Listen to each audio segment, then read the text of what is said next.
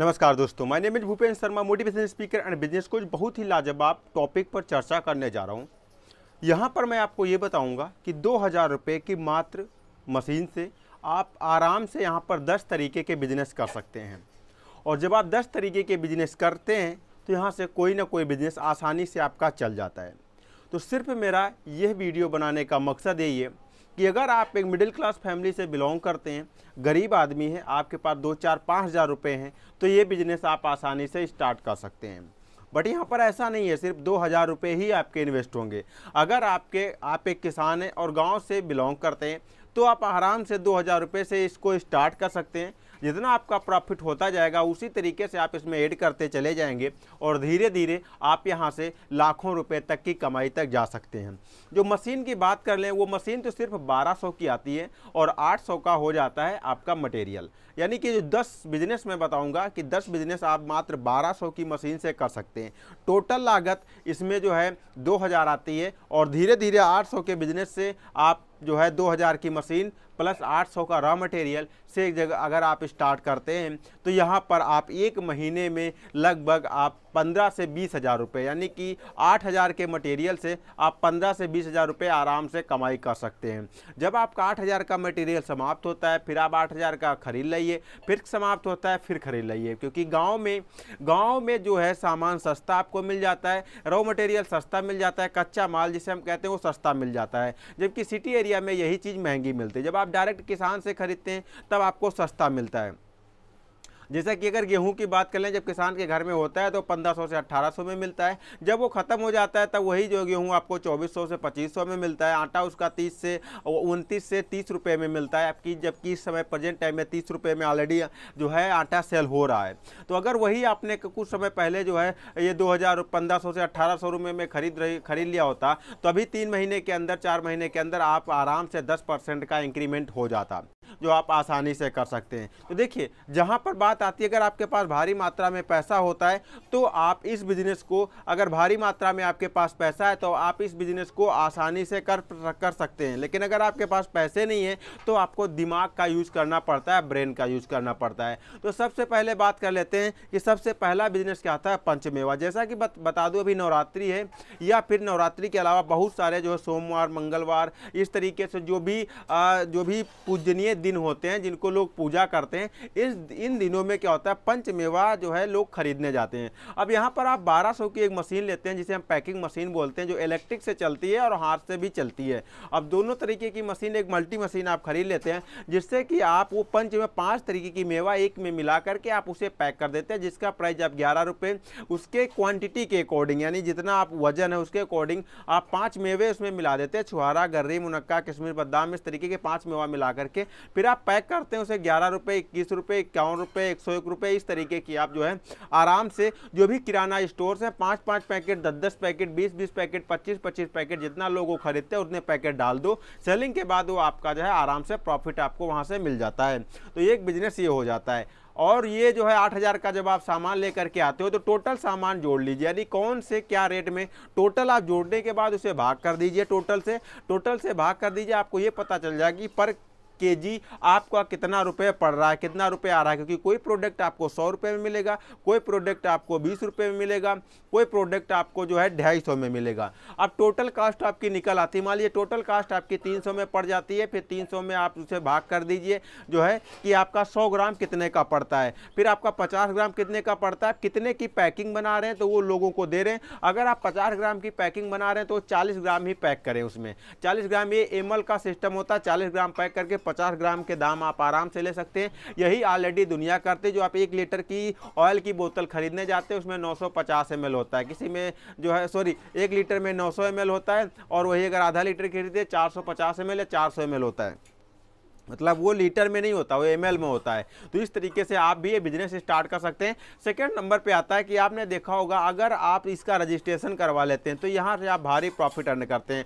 एक पन्नी, अगर आप लगाते हैं उसमें तो आपका जितना खर्चा, उतना ही खर्चा इसमें भी आएगा। परेशान होने की आवश्यकता नहीं है। इसे हम कहते हैं शक्कर पैकिंग यहाँ पर भी बारह की मशीन आती है और आराम से आप इस पैकिंग बिज़नेस स्टार्ट कर सकते हैं। यहाँ पर ज़्यादा आपको ताम झाम करने की आवश्यकता नहीं, ज़्यादा दिमाग लगाने की आवश्यकता नहीं है। डायरेक्ट आपके नियरेस्ट जहाँ कहीं भी मिल हो वहाँ पर जाओ, वहाँ से जो है आप शक्कर खरीदो। खरीदने के बाद आप वहाँ पे एक एक किलो के पैकेट में पैक करके आराम से उसे शॉप पे डाल सकते हो। जो भी मॉल्स होते हैं, ज़्यादातर ये चीज़ें मॉल में ज़्यादा बिकती है। शक्कर के पैकेट जो होते हैं, आई एस आई मार्क के साथ आप मॉल में ज़्यादा इसे सेल कर पाते हो। तो वहाँ पर मॉल में जा करके रख दोगे, वहाँ से आराम से आपका सेल हो जाता है। इसमें कोई भी बवाल नहीं होता और ये ख़राब होने के चांसेस भी इसमें ना के बराबर होते हैं। तो वहाँ से भी आप आराम से इसे सेल कर सकते हो। नेक्स्ट नंबर पर अब अगर बात कर लें तो ये जो आता है, थर्ड नंबर पर वो आता है आठ नंबर पे, यानी कि जो दस दस, फिर नौ, फिर आठ।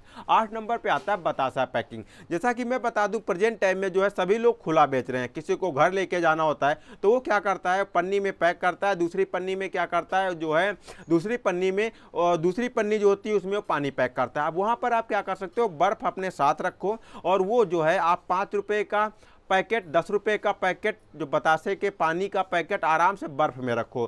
साथ ही बतासा तो आपके उसमें रहेंगे ही रहेंगे। आप पैकिंग मशीन साथ में रखते हो, कोई भी आता है कि भैया मुझे इतने पैकेट चाहिए, या अलग से पैक करके रख लो, दस रुपये बीस रुपये पचास रुपये का अलग अलग पैकेट्स पैक करके रख लो। जैसे ही कोई आता है, आराम से वहाँ पर जब आप किसी को बर्फ़, यानी कि ठंडा पानी जो है, बतासे का ठंडा पानी दोगे तो हंड्रेड उसे इंटरेस्ट लगेगा मतलब टेस्टेबल लगेगा, वो ज़रूर उसे खाना पसंद करेगा अपने घर भी लेकर के जाएगा। ये एक यूनिक बिज़नेस आइडियाज़ है। बहुत लोग कम से कम लोग इसे कर रहे हैं सौ में एक आध लोग आपको करते हुए मिलेंगे।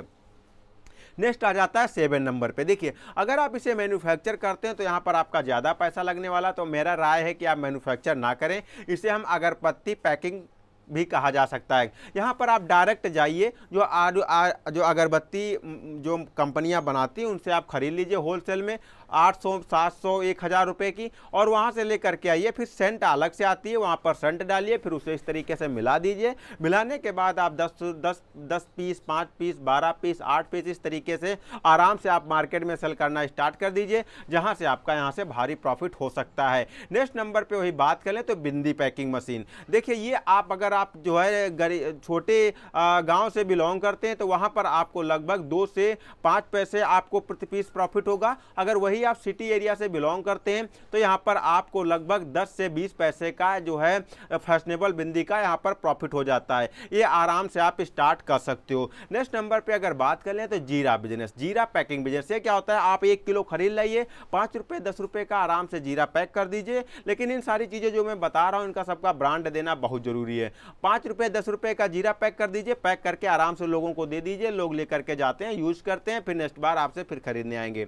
नेक्स्ट नंबर पे आ जाता है आपका जो है नमकीन। नमकीन क्या होता है कि आप मटर या फिर जो मसूर है या फिर ऐसी बहुत सारी दाल होती है जो सीज़न पे सस्ती मिलती है, आप इसे खरीदिए। खरीदने के बाद आप इसे जो है दराई करवाने के बाद आप इसे ऑयल में तल लीजिए, इसमें नमक मिला करके। आराम से आप पाँच रुपये या लैया या मूँगफली ऐसा जो भी कुछ मिलाना है इंग्रीडियंट्स आप मिला करके, फिर आप दस रुपये पाँच रुपये के पैकेट में पैक करके आराम से आप इसे भी बेच सकते हैं। ये भी आप दुकान में जाते हैं, डाल देते हैं, दुकानदार आराम से इसे बेचता है और वहाँ से भारी प्रॉफिट आ जाता है। फिर नेक्स्ट नंबर पे बात कर लेते हैं मिर्च की। अगर मिर्च आप स्टार्टिंग में किसी से एक क्विंटल खरीद लेते हो, फिर उसे सुखाने के बाद फिर आपके एरिया में भी पिसाई मशीन लगी होती है, वहाँ जाओ पिसाई करवा लो। फिर क्या करो, इसे पाँच रुपये दस रुपये के पैकेट में पैक करो और उसी बारह सौ की मशीन से पैक करके फिर आप डोर टू डोर भी सेल कर सकते हो। जो kirana store to kirana store sell कर सकते हो फ्रेंचाइजी भी ले सकते हो, आपके प्रॉफिट के पैसे के अकॉर्डिंग होगा। फिर नेक्स्ट नंबर पर दूसरे नंबर पर आ जाता है हल्दी मैन्युफैक्चरिंग हल्दी मैन्युफैक्चरिंग ये भी एक बिज़नेस है, यहाँ से भी आप भारी प्रॉफिट अर्न कर सकते हो। इसे भी आप पिसाई करके फिर इसे पैक करो और लोगों को जा करके दस रुपये पंद्रह रुपये के पैकेट दे दो। फिर फ़र्स्ट नंबर पे आ जाता है धनिया। धनिया भी एक तरीके का आप स्टार्टिंग में खरीदते हो, पैंतीस सौ में चार हज़ार रुपये में मिल जाता है और फिर आप इसे पैकिंग करके बड़े बड़े एक किलो के भी पैक करवा सकते हो और ढाई ग्राम बड़े बड़े होटल्स में भी आप दे सकते हो। तो जो मैंने दसों बिजनेसेस बताएँ, ये दसों बिज़नेस आप इसे पैकिंग के द्वारा, आप एक किलो, पाँच किलो 500 ग्राम 250 ग्राम 100 ग्राम 50 ग्राम, पाँच रुपये दस रुपये के पैकेट बना करके होटल में, कंटीन में जो भी मोटल्स होते हैं, उन जगहों पे आप पैकेट के पैकेट सप्लाई करो, पाँच किलो, दस किलो सप्लाई करो, बाकी होलसेल में भी आप सप्लाई करो और रिटेल में भी सप्लाई करो, डोर टू डोर भी सिस्टम बनाओ, एक टीम बना करके वहाँ भी सप्लाई करो। इन सारी तरीके से आप इस बिज़नेस को कर सकते हैं, एक ब्रांड बना सकते हैं आप, अशोक पारस गोल्डी मसाले की तरीके से और भारी प्रॉफिट अर्न कर सकते हैं। तो दोस्तों, आशा करता हूँ आप पूरी तरीके से समझ गए होंगे, कोई जानकारी मिस रहेगी कमेंट्स करके बताना है तो ज़रूर मैं आपकी हेल्प करने की कोशिश करूँगा। मिलता हूँ किसी अमेजिंग और फैक्टेबल वीडियो में, तब तक के लिए दिया जाए नमस्कार।